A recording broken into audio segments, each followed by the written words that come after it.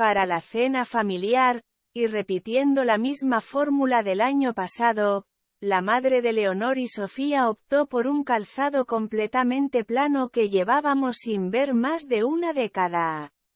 Cena familiar en Mallorca, con las hijas de los reyes como protagonistas y centro de todas las miradas, pero también con gran atención al look de la reina, con el que parecía querer pasar totalmente desapercibida y que todos los focos fueran hacia sus hijas.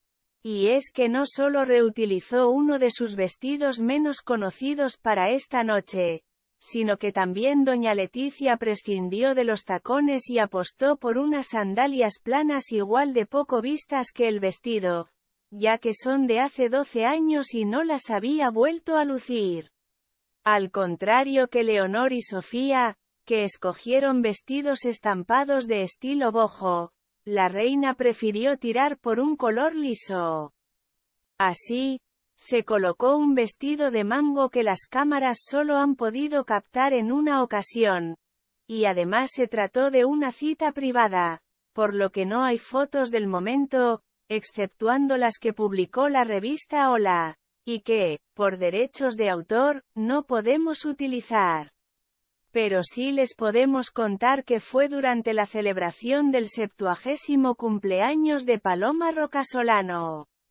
Es un diseño en color rojo, ligeramente plisado, con cuello halter y largo midi.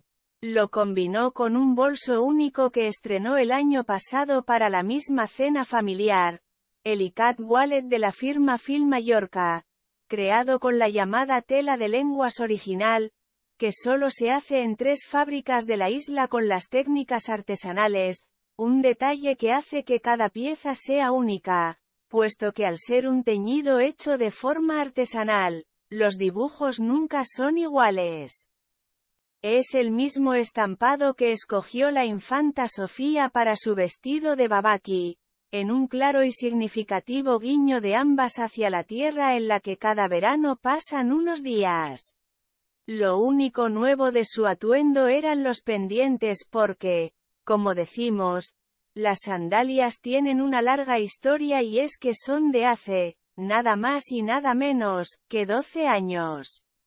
La reina Leticia solo se las ha puesto una vez, además casi en el mismo escenario.